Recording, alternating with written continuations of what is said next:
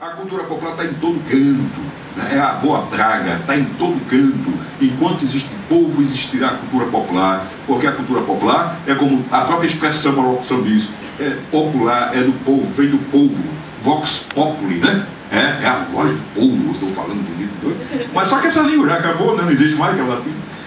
Então, pô, é, é isso que eu tinha a dizer para vocês, por enquanto.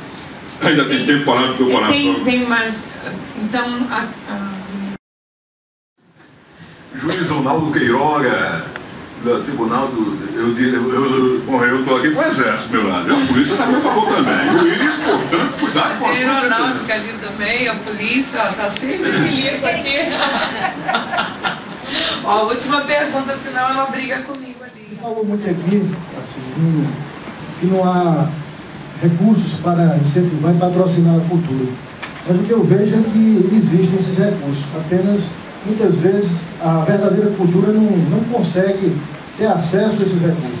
E pelo que eu vejo, por exemplo, no próprio Nordeste, no sul da Paraíba, é, muitas vezes os eventos do São João e até do São João fora de época, que inventaram agora isso lá também, é, conseguem recursos através de emendas de deputados e senadores de vultuosas quantias, lá no palco, uma banda não que representa o verdadeiro forró, a verdadeira cultura, mas a banda de plástico a cantar músicas que não tem mensagem nenhuma, apenas que denigra a imagem da mulher, coloca a prostituição e a, a, o incentivo à bebida como foco na, na, da música, né?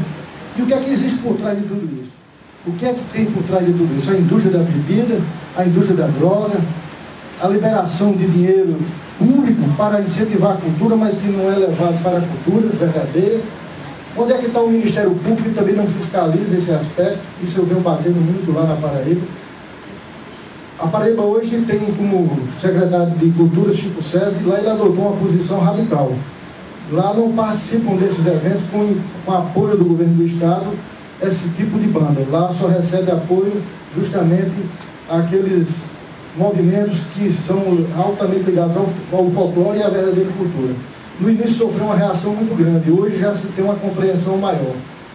Então eu, eu acredito que é preciso continuar resistindo e gritar, falar, porque se ficarmos calados, essa coisa toda termina por ganhar mais corpo ainda. E como diz Lobão, não se toca a verdadeira música, boa música na rádio, não é porque o povo não, não quer, é porque não querem que o povo escute. E termina deixando, deixando lá na ponta um ouvinte imbecilizado. E para se resgatar esse imbecil depois, é muito difícil. Era só isso que eu queria colocar. É uma vítima, né? O imbecil